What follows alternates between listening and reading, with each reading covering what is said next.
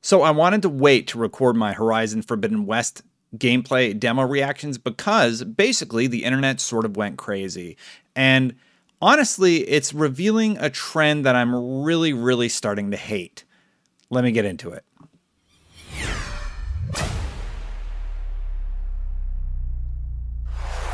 So, before we get to my crazy person reactions, let's talk about the charity we're working towards. So, basically, I initially started this for the month of June, and the goal was $1,000. And look at that. We broke the goal in three days. So I expanded it to be $5,000. I figured, okay, wow, we did a thousand in three days. Let's see what we can do in a month. Thank you to everybody who has donated. Uh, St. Jude Children's Hospital, they're working to cure cancer and other rare diseases in children. So all month long, I'll be including a link where you can donate if you choose to donate to the cause. And a few of the goals include $10 will buy a toy for the waiting area, a $250 donation or $250 will give a family a meal card for a week worth of food in the cafeteria. Again, an awesome treat if you if you're in a hospital with your child, and $500 will actually give somebody a bone marrow transplant. Uh, thank you so much everybody who's donated this far. Let's get back to the video for now. More on that at the end of the video. Okay, so Horizon Forbidden West has been revealing this this consistent thing that I keep seeing every time there's a major game reveal. And actually, it brought me back to Halo Infinite. There's these games that are being built up to be larger than life within the gaming community, Horizon being one of them, and I think Halo is definitely the other. With Halo, we got an extended gameplay demo that actually showed a lot of positive things about where the franchise is going. Uh, like a lot of the community asks were addressed, but everybody latched onto what amounted to what five frames of a character's face who became the Craig meme. And well, yeah, it's it's funny, and some some of the jokes for Aloy, I guess you could consider funny also. But the more I see it, the more I, I'm not laughing as much. The idea that these gameplay demos can be boiled down to a few frames or a screenshot of a character's face where they look bad for a few moments is it's just a, a trend that I, I'm really, really not liking because it sort of detracts from the actual accomplishments of these gameplay demos. Uh, you think about what they were trying to showcase with Halo Infinite. Granted, yes, feedback should be sent and heard loud and clear for a game like Infinite that needed to be delayed, but Horizon otherwise looks absolutely astonishing. So, speaking about Horizon specifically, there were a lot of comments about how Aloy looks. Um, uh, there was a picture going around about her like in all this makeup and honestly I found it incredibly creepy. I didn't I didn't find it funny at all and a lot of people made fun of it for saying that people don't have makeup factories in the post-apocalyptic future with robot dinosaurs running around. Rightfully so, right? Um so here's here's the long and the short of it it, Aloy has aged since the first game. So Aloy is seven when the first game starts. By the end of the game, she's around 20. And there was a comment made about how the how it's now been a thousand years since the old ones fell. And in the original game set around the year 3040, it was 974 years. So that puts Aloy around 45 years old if the math is correct and i'm going off of like a fan wikipedia for for the mention and for the the uh, age guesses here so honestly if she's 45 here's a picture of me when i was around her age a 20 year old and here's a picture of me now but the point is people age right and if Aloy looks that good at 45, then I, am really, really surprised by the reaction. I, I think it's honestly just narrative driven. So a lot of people have shown the original character, uh, a original person that the character was modeled off of, and they're doing that side by side. But also, like, it's just such a weird reaction from me. Like, that's what you latched onto. You don't latch onto how good the game looks or any of that other stuff. And then we also talked about the delay for God of War the other day and the reaction to that, and how people were talking about how these games are being held back. Well, surprise, surprise. Literally one day later, there's all these interviews about Horizon Forbidden West and how they said they are testing a ton on the PS4. This is to make sure that they avoid a cyberpunk situation. They didn't say that. I'm saying that because everybody saw what happened with cyberpunk and they want to make sure that absolutely does not happen. Uh, the idea that the PS5 can do something. Oh, yeah, I wrote that. So, one second. Uh, some of the features they're going to have are 3D audio, dual DualSense, a 60 FPS mode, unique rendering for the underwater scenes only on PS5, special cinematic lighting rig only on the PlayStation 5. And um, yeah, so like for me, this idea that the the PlayStation 5, yes, Ratchet and Clank has a feature that absolutely harnesses the power of the PlayStation 5 and what it can do. And it looks it looks great. It looks wonderful, right? Uh, Returnal really really harnesses the power of the DualSense and uh, utilizes it in some really really cool ways.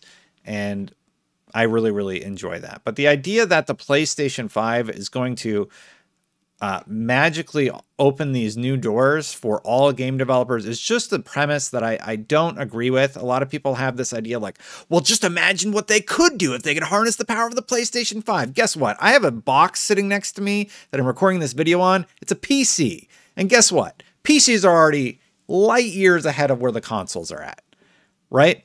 The consoles are doing something interesting things with the hard drive this time around. And yes, they are very powerful boxes, but at the end of the day, the PC's got it beat in pure power alone. And that's not me being a PC elitist. That's just if you have infinite money to throw at a PC, you can continue, you can build a, a very, very powerful computer, right? The consoles are largely locked to a life cycle, and therefore, the longer the consoles exist, the, the less powerful they will be compared to PC hardware. Now, people will learn to stretch the power of those consoles as far as they can go. And yeah, I just it's just a really weird idea to me. People have built up this this expectation that the PlayStation 5 is going to do all these insane things and, and largely I think we're we're seeing them.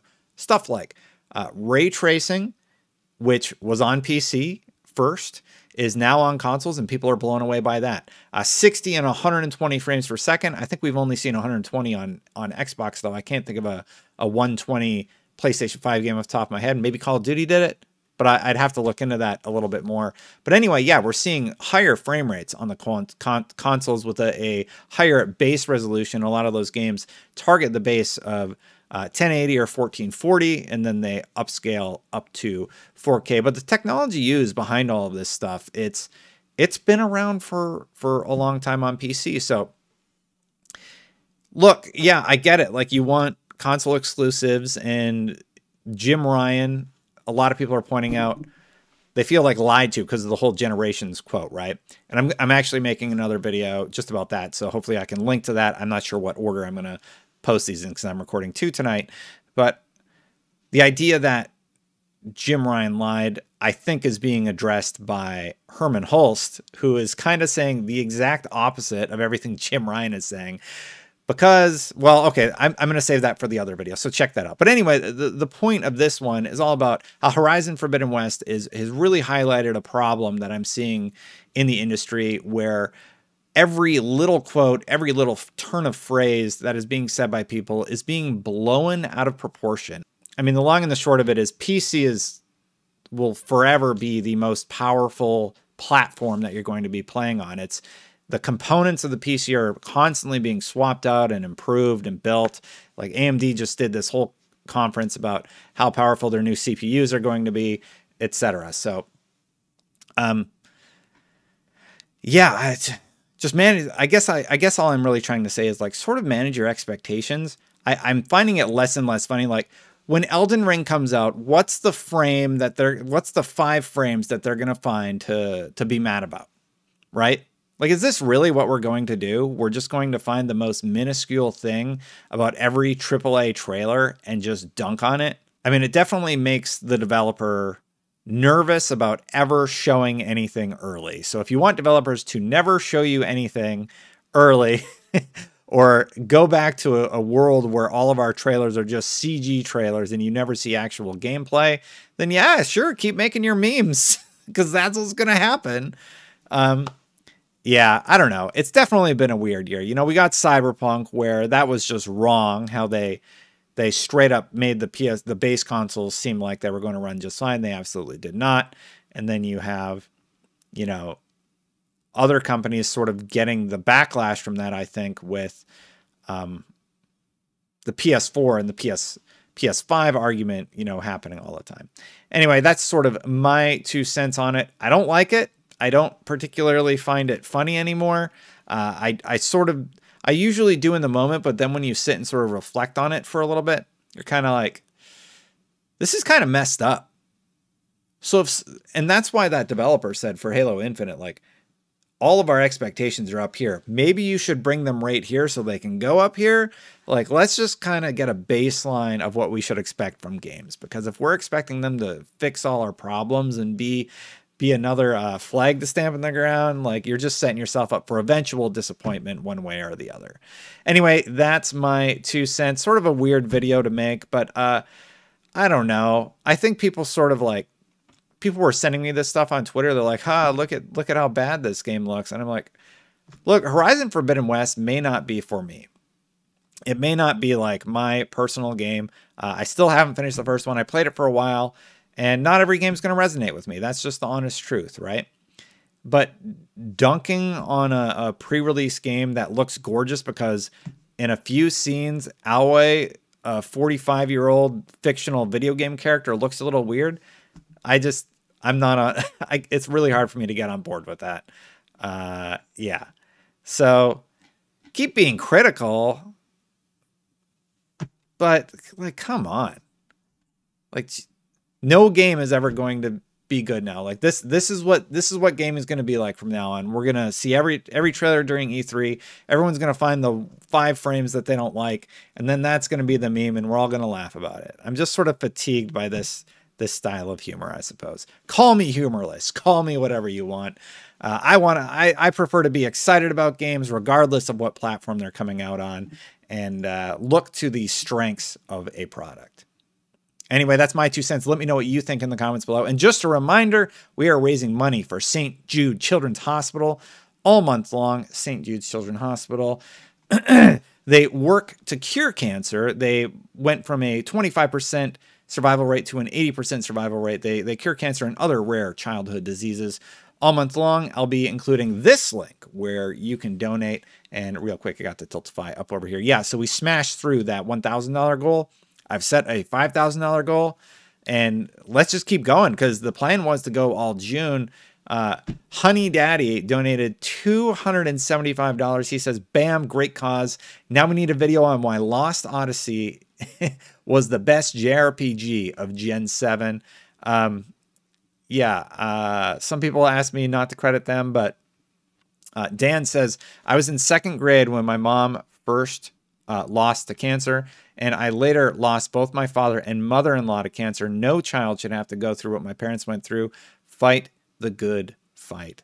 And you know, there's just a lot of stories on the campaign right now. So if, it, if it's cause you want to donate towards, again, just to recap, some, some of the rewards I, I highlight are the $10 for a new toy for a kid to play with in the waiting area, uh, $250 for a family meal card so that families can, you know, eat in the cafeteria together while they're dealing with this this very hard time and $500 will get a bone marrow transplant. We've already done a lot of good. Thank you to everybody who's donated. I do plan to donate during uh, the campaign as we're running it throughout the month.